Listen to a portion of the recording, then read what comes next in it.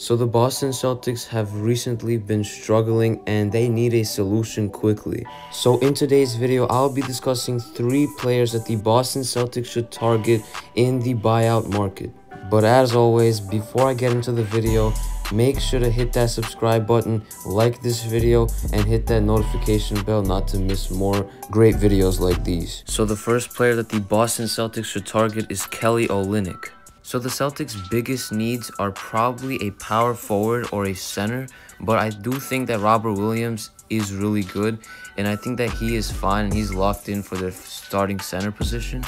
But I think the main problem is the power forward position because the Celtics right now are playing Grant Williams a lot of minutes and I think that they definitely need a upgrade at that position and they need a stretch four. So if they can get Kelly Olynyk and I believe that the Rockets will waive Kelly Olynyk so I do think that the Celtics should be able to get him and he would be a great fit because he plays defense and he shoots threes and makes them at a good rate.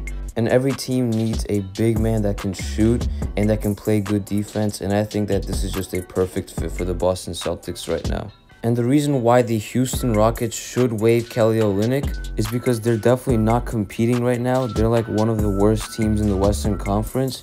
So I think that they should go younger and waive Kelly Olynyk to be able to get rid of his $12.5 million salary this season. And they should basically just do a mini rebuild as their general manager Rafael Stone recently mentioned. And for the Celtics, Kelly Olynyk would get a lot of minutes off the bench.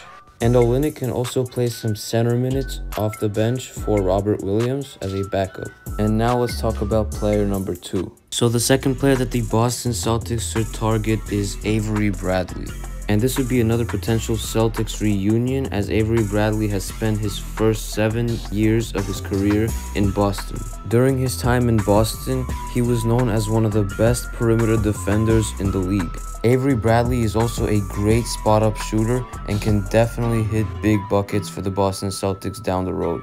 So Bradley is definitely known as a 3-and-D type of player and he would definitely help the Celtics and boost their bench to a better defensive and offensive team. And the third player that the Boston Celtics should target is Otto Porter Jr. So Porter Jr. is another 3-and-D wing player that has more upside than Avery Bradley and is younger. So averaging 10 points, 5.5 rebounds, and 2 assists per game this year, Porter Jr. is overall having a down year. But he could definitely still be valuable for contending teams. And he's still averaging 40% from 3, which is definitely good for contending teams and he would have a clear spot in the rotation as a backup forward, and he would most likely replace either the minutes of Grant Williams or Semi Ojeleye. And with a bench of Pritchard, Fournier, Porter Jr., and Thompson would definitely be a nice backup unit. And some of these buyout candidates that I've mentioned in the video might not end up being bought out by their teams, but there would still be a good amount of players being available in the buyout market if these players do not become available.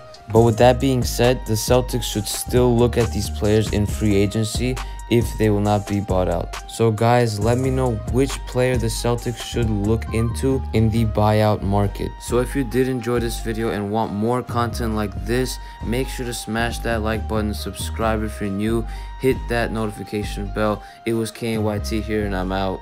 Peace.